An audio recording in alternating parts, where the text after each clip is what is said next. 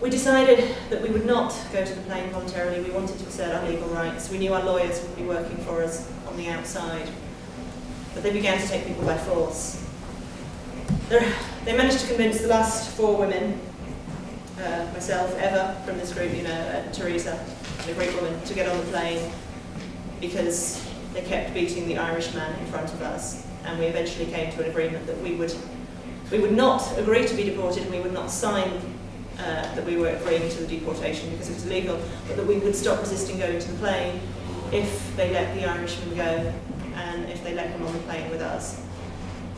And, and so we got to the plane, but not before seeing, I think, the most inhumane thing that I'd seen through all of it. Because I said the military violence stands as a fact in my mind, and I, I think I isolate that as the military as the military operation. What upsets me is the unnecessary abuse and humiliation and degradation and hatred that they treated us with after that. We saw the injured Turkish men who had been in hospital get into the plane. Now at this point it was Wednesday evening. Most of the men, we'd been taken in the early hours of Monday, most of the men were still dressed in what they'd been wearing when they went to bed on Sunday night because we hadn't been allowed to keep our luggage and they didn't give us a change of clothes. These men were in their, these were the injured men, they were in their blood-stained clothes. Many of them um, had um, sleeves and legs cut away, they'd been cut away to treat their uh, injuries in the emergency. One of the men was still receiving a blood transfusion and he was made, with the line in his arm, he was made to walk with the blood bag in his hand to the plane. Not even giving a wheelchair, any kind of assistance, he was walking carrying his own blood transfusion. And I saw about a dozen of the men hobbling with bandaged feet. I wanted to ask them why so many of them had been injured in, in their feet, what had happened. But I couldn't ask them because any time they spoke to us, they were beaten for speaking. I later found out that the injuries in the tops of the feet were from when the helicopter came down and attacked the Marmara and the soldiers came down they were shooting downwards either from the helicopter or the soldiers shooting onto the lower decks. They were being shot at from above. You'll, you'll know that some of, the, uh, some of the dead were shot in the head. Other men were shot in the tops of the feet because they were being shot from above. So these men had been shot in the tops of the feet and they were still in the same clothes that they'd been in for three days, hobbling to the aeroplane. Not one of them had been given a wheelchair.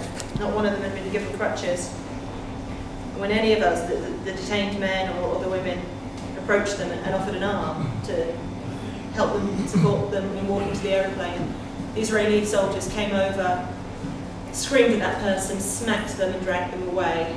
And they made all of these injured men who had been shot in the feet hobble all the way across the airport terminal, unaided, to the aeroplane. Absolutely no need for that. It was just pure contempt abuse and humiliation. And these soldiers sat and laughed and jeered and enjoyed watching it. I've never... I lived in Palestine for a long time.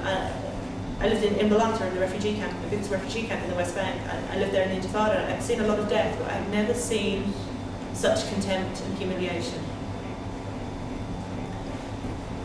When we got to the plane, uh, it was nearly midnight. And we got there and found some of my colleagues who had left the prison five o'clock in the morning there waiting. We'd been kept for, my, my group, because we were the last group, we'd been kept for, over 12 hours. The women who'd left voluntarily at five, the prison, had left the prison voluntarily at five o'clock in the morning had only been put on the aeroplane and they were all still sitting there waiting to depart. That's the other thing that, uh, that I, I, I keep recalling. I think smell is the sense strongest, most strongly linked to memory. And at that point, people have been sitting on the plane 14 hours in the clothes that they've been wearing for three days. Clothes with three-day-old dried blood, fresh blood from wounds still bleeding, and soaked with the kind of noxious adrenaline sweat that humans only produce when they're under sincere fear for their lives. And that smell on that plane was pretty overpowering. And the insults didn't stop there. We had three planes on the tarmac that the, the Turkish had sent to evacuate their people and the Israelis had chosen to put all of us on. The planes were not allowed by the control tower to use the radio. Absolutely unnecessary abuse again. The crew were having to use their mobile phones to contact the other planes sitting on the tarmac in Tel Aviv. The final lie, the final little insult was that the Israelis told us that all our possessions, bar our electronics, all our possessions had been loaded onto the aeroplanes and would be there in Istanbul. Of course they weren't. Hmm. It was an absolute lie. They had put a few random bags from the Marmara onto the planes, mostly empty, insultingly. Some of them had been soiled, some of them had been urinated on. They'd all been looted, cash had been taken, and everybody's electronics had been taken. But really only a, a few, a few empty bags and a few items of clothing from the, Mar- from the Marmara were returned.